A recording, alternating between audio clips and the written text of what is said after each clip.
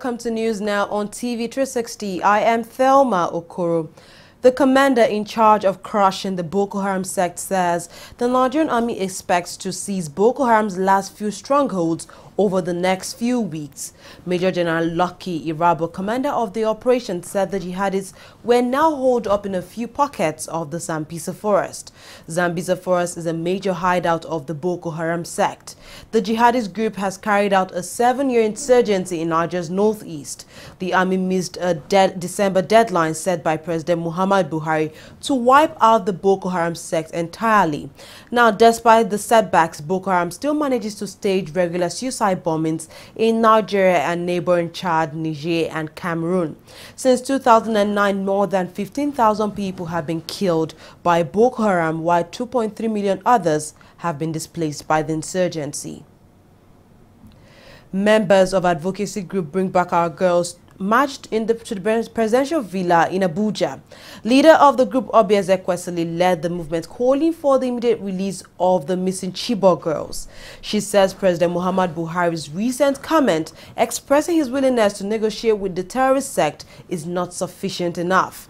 In a recent video clip, the insurgents had demanded that their members held in detention by the federal government be swabbed for the abducted girls. In April 2014, Boko Haram abducted 276 schoolgirls from a school in Chibok, Borno State. Till date, most of the girls are yet to be found. The Nigerian Air Force says it has destroyed a new Boko Haram terrorist camp located in Borno State, northeast Nigeria. The Air Force, in a statement signed by its spokesperson, Group Captain Ayodele Famuyiwa, said the attack was carried out after surveillance intelligence reports showed survivors of an attack on August 20th converging at a new location. The new raid follows the previous attack on a Boko Haram camp, which, according to the military, fatally injured the disputed leader of the Boko Haram sect, Abubakar Shekau. According to the Air Force, the aim of the new attack is to clear the remnants of the sect, which is still located around Malam Fatori and Kargawa in Borno State, northeast Nigeria.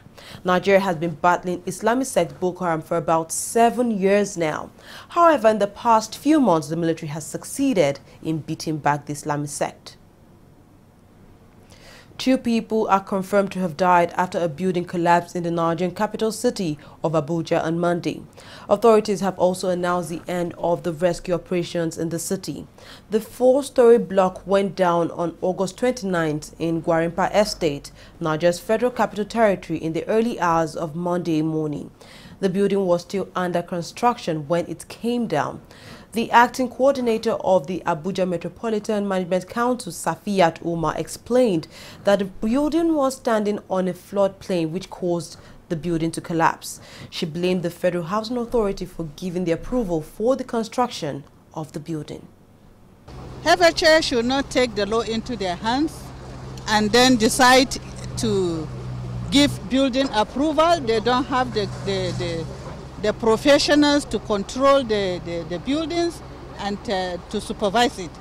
They are supposed to bring their drawings to uh, FCDA development control for proper vetting, enforcement and supervision.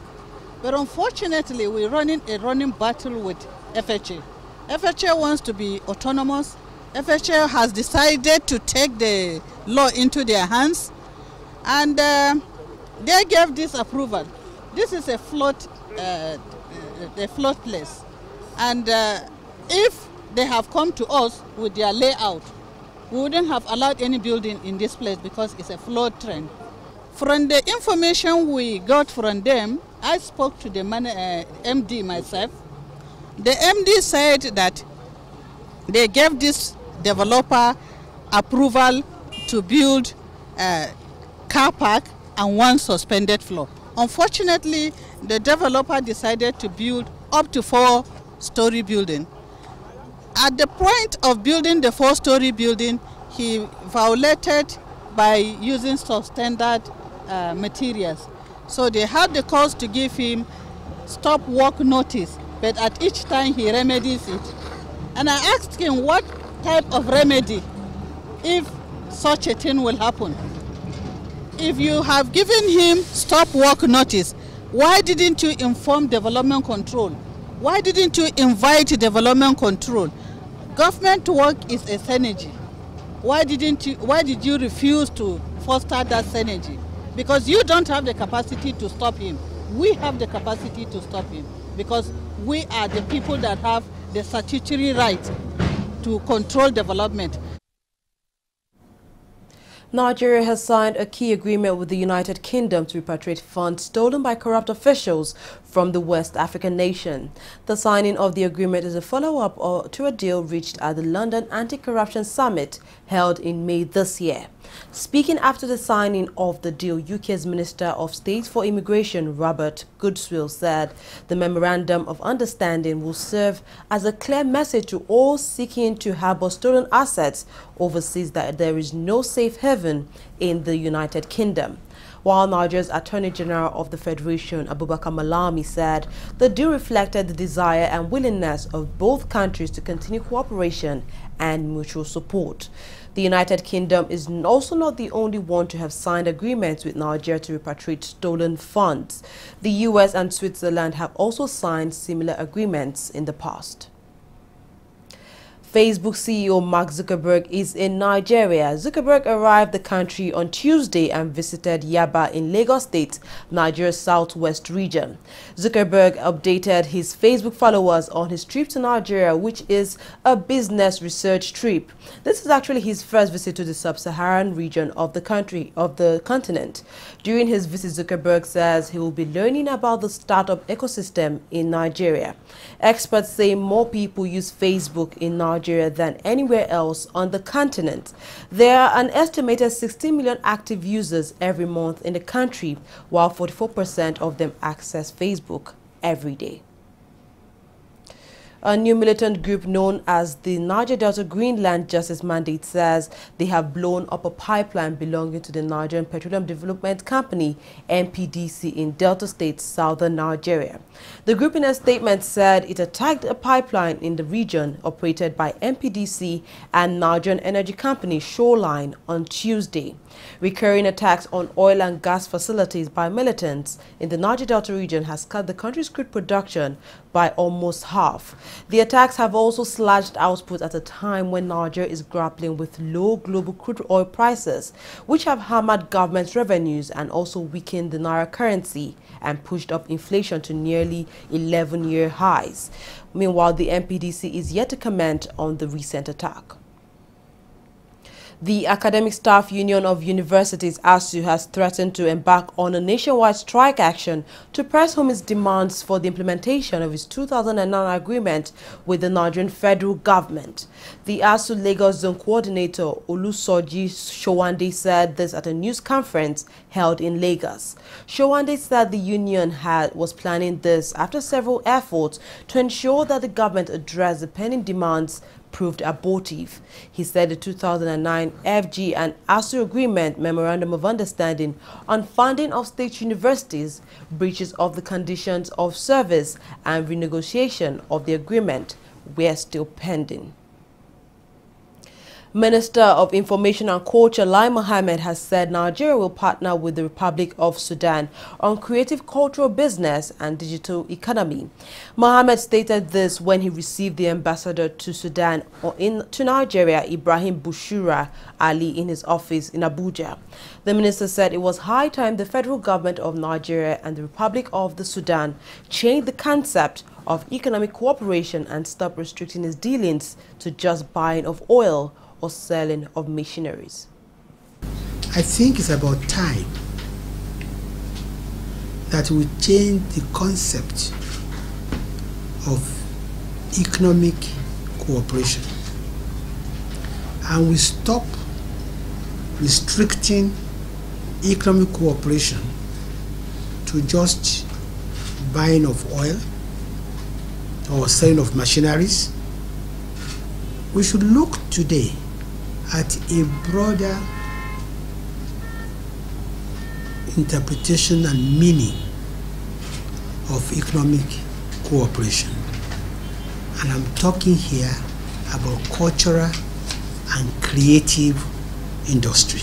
And you see, the, the beauty of this cultural exchange and trying to look at the economy you know, the, from the viewpoint of, you know, uh, culture and creativity, is that it helps in the employment of youth because the, the, the, the, the majority of the talent we're talking about mm. is youth. It also helps our women to become much more employed than before. So I would very much welcome cultural exchanges yeah. between Sudan and Nigeria, not just uh, as a symbol of uh, the friendship between the two countries, but as a basis for economic uh, you know, development for both countries. I'm sure that the film industry in Sudan would have learned a lot to learn from our film industry, especially in Kannywood, because of the similarity of cultures. We all know also the big number of the Sudanese of Nigerian origin currently now live in Sudan, more than 5 million. So I always say in my meetings that uh, what connects the Sudanese and the Nigerian peoples is blood, blood relationship. Yes, it is true that we may be far as far as distance is concerned. We are not neighbors, but we are strongly, you see, connected and linked by the kinship and blood relationship. And there are many, you see, uh, Sudanese of Nigerian origins now in Sudan. They are Sudanese. They are in every corner. They are ministers. They are governors. They are businessmen. They are, they are everything. And they are contributing with their brothers in Sudan in building Sudan now. But let me say, Excellency, despite this very old relationship, economically, this relationship has to be, you see, uh, uh, revitalized. We have to put some emphasis on the economic cooperation because until now, we don't see tangible, you see, results in the economic arena as far as economic cooperation is concerned. As far as cultural, uh, as far as cultural cooperation is concerned, I think it is excellent because we have thousands now of uh, Nigerian boys and girls who are studying in Sudan, in the Sudanese universities. They are very happy, and we are ready, you see, to offer more excellency in this field uh, in the context of the excellent relations between the two countries. The crisis rocking. The People's Democratic Party assumed another dimension as the factional national chairman of the party, Senator Ali Modu Sheriff, rejected the decision of its Board of Trustees to hold another convention. The party's Board of Trustees, after a four-hour closed-door meeting on Monday, passed a vote of confidence on the Ahmed Makarfi-led caretaker committee, mandating it to prepare for another convention in Abuja. But the faction led by Senator Sheriff says the party's Board of Trustees decision was wrong. The Sheriff faction of the PDP gave fresh conditions for reconciliation, including that of dissolving the Makarfi-led caretaker committee of the party. The PDP became divided after some members of the party at a national convention in Port Harcourt removed Senator Sheriff as a chairman of the party. The Nigerian presidency has listed the gains of President Muhammad Buhari's participation in the just concluded Tokyo International Conference on African Development. One of such gains include the billions of dollars to be injected into African economies by Japan. A statement issued in Abuja by Garba Shehu, who is the presidential spokesperson, said the Japanese government had pledged to spend $40 billion to boost the African economies in the next four years. He gave the breakdown of the amount as $10 billion to be injected in the next 12 months, while the remaining $30 billion will be expended over a three-year period. Infrastructure such as roads, energy, ports, hospitals and training institutions will also be targeted in the investments. Civil society organizations staged a protest in Lagos State, Niger Southwest region. More than 32 of these groups marched to the zonal office of the EFCC. They are demanding the prosecution of those involved in the budget padding scandal raging on in the Nigerian House of Representatives. According to the group's members of the National Assembly have continued with business as usual in the face of the padding scandal and despite the anti-corruption stand of the Buhari-led administration. Today, we have come as registered members of registered organizations to present formally a written petition calling on the Economic and Financial Com Commission EFCC to sweep into action and investigate and when found guilty prosecute everybody that may have been involved in the stealing of our commonwealth through the padding of that 2016 budget. I present this petition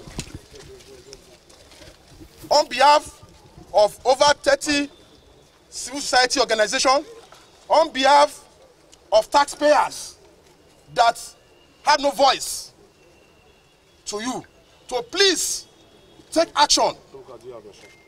Please take action on this because Nigerian people are suffering. These few people cannot continue to retrogress this nation. Thank you very much. Sir. To pardon the National Assembly, which some allegations have been raised against the Speaker and some other persons, we are already received a petition from some other members of the public. And the investigation is being done in Abuja. Uh, when petitions are received, we look at them, make some analysis, commence investigation. We do what we call preliminary investigation without inviting the accused person first. We carry out some investigations gather some facts to ascertain the truthfulness of that petition. Where we find them indicted, then we go into inviting the accused persons. So what we are doing at present, since we have already received some of the petitions, our men, our officers are already on ground, carrying out very thorough investigation. You've been watching TV 360 News now. We'll take a short break and we'll come back. We'll look at business and international stories. Don't go away.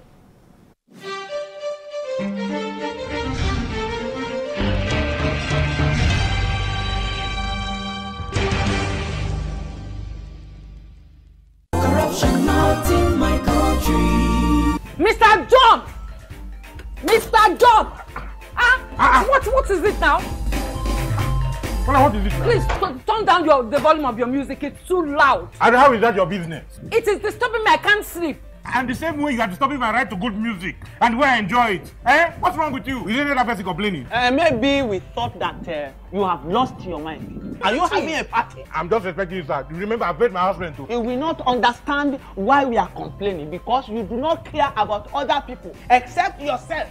Look, The transformation we need in this country begins in this compound. Yes, now. From you, you, and I. This your selfishness is an offshoot of corruption. Uh-huh. And corruption not, not in, in my, my country. Oh, you know, eh? Go go to your bank. Go. Corruption not in my country.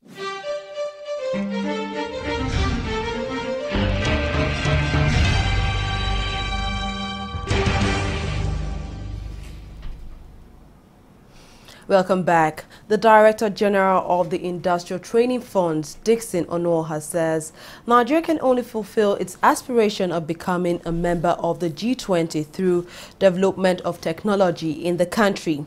Onuoha, who disclosed this on Wednesday in Lagos, southwest Nigeria, explained that smaller countries like Singapore and others were able to develop their people technologically. The G20 leaders are due to meet in China and to discuss issues affecting not just the members but the world. Nigeria will be hoping some positive things come out of the meeting that could help it get out of its recession. Ono, however, says Nigeria needs to build a workforce that is technologically compliant and also provides opportunity for evaluation and validation of skills requirements at the national and state levels. For us to join such, you know, G, the G20, we need to we cannot join G2 when our you know industrialization level is at the point it is now. We need to boost it, and one of the ways ITF is helping to boost it is through skills development. There can't be industrialization without skill, and I believe that is very clear to every one of us.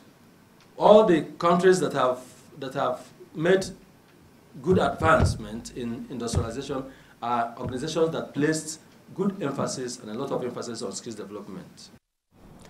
Onuoha explained that the agency is also considering the establishment of skill training centers that will provide university graduates the needed exposure to partially hands-on experience and contribute in reducing the rate of unemployment in the country, adding that the ITF is on course with its plan to create about 2 million jobs by 2017. Now to more business stories. Nigeria's gross domestic product GDP contracted by 2.06% in the second quarter. This is according to the Statistics Office on Wednesday. This has sent Africa's biggest economy into a recession after a decline in the first quarter. The Nigerian Bureau of Statistics says the non-oil sector declined due to a weaker currency while lower oil prices dragged down the oil sector. Output shrank by 0.6 36% in the first quarter of 2016. Nigeria is in the midst of an economic crisis triggered by a slump in crude oil prices, its mainstay which has hammered public finances, and also the Naira and caused chronic dollar shortages. Crude sales account for around 70% of government revenues. The West African nation was last in a recession for less than a year in 1991 and experienced a prolonged one that started in 1982 and lasted until 1984. The Central Bank of Nigeria has recorded an inflow of $595 million into the country's foreign exchange reserves in just 72 hours. Nigeria has been battling low oil prices, which has seen its foreign exchange receipts fall from about $4 billion a month to less than $500 million per month. The CBN had employed various methods to rev up the re reserves, including a 16-month peg on the Naira exchange rate, with a majority of it amounting to a further depletion of the reserves in defense of the Naira. The gross external reserves at the end of the second quarter of 2016 stood at 26.51 billion dollars showing a decline of 3% and 6.5% compared with the levels in the preceding quarter and the corresponding period of 2015 respectively. Crude oil prices slid on Wednesday, though prices remain on track for a monthly gain of more than 10%. Brent crude oil futures were trading at $48 per barrel, while U.S. crude futures was down 21 cents at $46.14 per barrel. Oil prices had rallied by more than 20% from the beginning of August this year on hopes that producers were reviving talks on a possible output freeze, setting prices on course for their largest monthly gains since April this year. Analysts, however, say the focus has shifted to physical market fundamentals, which remain shaky. At least 22 people, including soldiers and civilians, were killed in Somalia's capital of Mogadishu on Tuesday. A car bomb claimed by al-Shabaab militants exploded outside the presidential palace and also damaged two nearby hotels. More than 30 people were injured and rushed to the hospital following the attack. According to officials, one minister and some state radio journalists were injured in the incident. The hotel is visited mostly by government officials and police say they believe the facility was a likely target. UN Security Council diplomats are expected to visit South Sudan this week.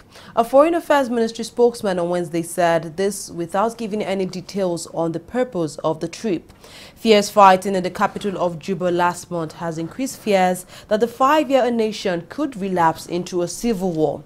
This prompted the United Nations to authorize the deployment of the extra troops for the 12,000-strong UN mission already in the country.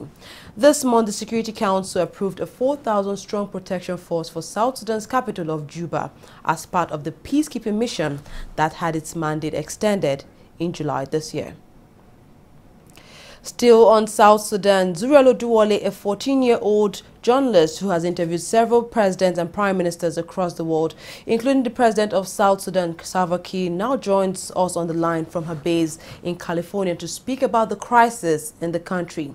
Now, Zuriel, as someone who has met and interviewed President Salva Kiir, there is no doubt that you will be very interested in what's going on in that country. Can you give us your thoughts on the crisis in South Sudan? Well, thank you very much for having me on your show. You know, I actually watch it from here in Los Angeles, along with other channels like BBC Focus on Africa, you know, to try and get a balanced view on Nigeria and the African continent. So it's really cool. I actually really enjoy it.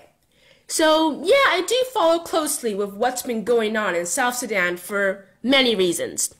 First, for those who don't know, South Sudan actually has the highest rate of girl marriage in Africa, where most girls by age 12 and 13 are married.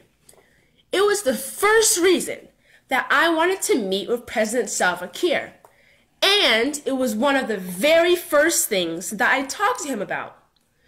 We were actually supposed to go there for a few programs, but then things changed with the Civil War. Now, Zuriel, President Kiir has been projecting himself as a peacemaker and has consistently maintained that he has nothing against former Vice President Riek Machar. As someone who has had the opportunity to interview the South Sudanese president, what kind of man would you say he is? I have to say that South Sudan is a very delicate case because it is a country with little infrastructure, a few leaders in charge, and a lot of oil. And that's a dangerous combination. Now, why is it dangerous? Because it allows mistrust to grow between tribes, groups, and factions who are tasting power for the very first time. And that's what's happening today. I really don't think that there can ever be trust now between President Salva Kiir and Vice President Machar. And as you may know, South Sudan is a tribe driven society. And what makes things now more complicated is that President Salva Kiir's newly appointed vice president, who replaced Riek Machar, has been rejected by the elders of the Nuer tribe, which is where former Vice President Machar comes from. So things are definitely not going to settle anytime soon. Now, if I was being asked to advise, I would recommend that both leaders agree to step down and hand over to the elders in the country for like one or two years while peace is made and new elections are held. But that's just how I see things, and I'm only 14. Well, Zuriel, thank you very much for your time. Now to sports stories now. The Nigerian Football Federation, NFF, has admitted that it had issues when it came to paying its under-23 coach Samson Siasia the five-month salary that it owes him. Siasia could decide that won Nigeria's only medal at the just concluded Rio Olympic Games. They took bronze after beating Honduras 3-2 in the, in the tournament. After the competition, his contract with the NFF ended and he demanded the outstanding money. But the NFF Secretary General Mohamed Sanusi says his organization does not have the money to pay Siasia. The NFF says problems with the country's treasury single account is a major reason behind its failure to pay Siasia. German coach Gernot Rohr has officially taken charge of the Nigerian Super Eagles. The team began training sessions this week ahead of Saturday's 2017 AFCON qualifier against Tanzania. The match is a dead rubber as both teams are out of the qualifying race. It takes place at the Akwa International Stadium in Uyo on Saturday, September 3, 2016. The Eagles will miss the 2017 AFCON for the second successive time after failing to defeat the Pharaohs of Egypt in the two matches played in March this year. The English Football Association has charged Manchester City striker Aguero with one count of violent conduct following his behavior during City's 3-1 victory over West Ham on Sunday. The incident happened in the second half of the game as the Argentine appeared to elbow West Ham defender Winston Reid. Of the ball incidents, which are not seen at the time by the match officials, I refer to a panel of three former elite match officials. Each panel will review the video footage independently of one another to determine whether they consider it a sending of offense. Aguero has until 7 p.m. on Thursday, September 1st to reply to the accusation. Well, that's all we have on news now. We thank you very much for watching. I am Thelma Okoro.